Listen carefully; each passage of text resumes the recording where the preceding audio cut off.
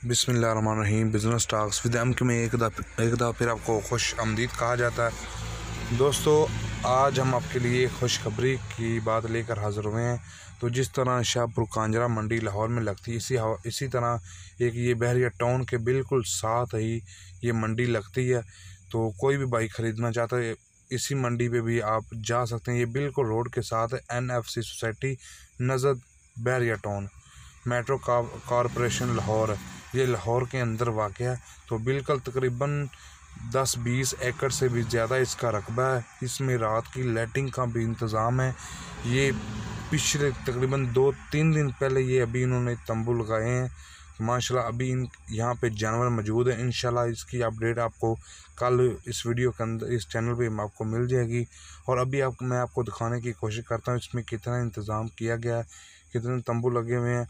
और इसमें ये देखना माशाल्लाह बिल्कुल रोड के साथ है।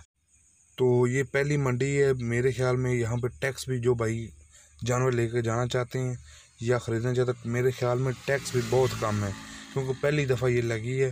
तो पहले का, पहली नस्ब, पहले की नस्बत बिल्कुल इंशाल्लाह इसमें कम रेट होंगे।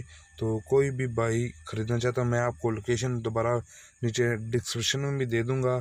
ये बहरिया टाउन के बिल्कुल साथ मोलनवान मोलनवान अड्डे के बिल्कुल तकरीबन तीन से चार किलोमीटर के फासले पे ये मंडी वाक़ है N F C Bahria town society है। उसके साथ बैरिया टाउन, वहाँ पे ये आपके सामने नज़र आ रही मंडी है।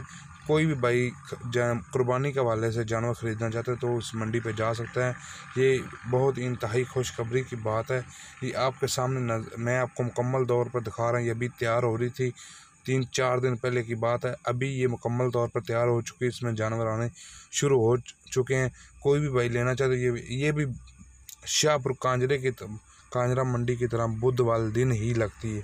मतलब ये कल मंडी लगेगी, इसलिए ये खुशखबरी लेकर आप भाइयों के सामने हाजिर हुआ ताकि आप भाई जो शाहपुर कांजरा में जलील होते हैं, उसी की नस्बत आप इधर आके आसानी से जानवर ख़रीद के परचेज़ करके कुर्बानी के हवाले से, या इसके अलावा और जानवर ख़रीद कर आप जल्दी से जल्दी घर जा सकते हैं, गर्मी की शिदत से तो दोस्तों, अगर आपको हमारी वीडियो अच्छी लगी और इस तरह के मजीद मंडी की अपडेट चाहते हैं हमारे चैनल को सब्सक्राइब करें साथ घंटी के निशान को दबा दें।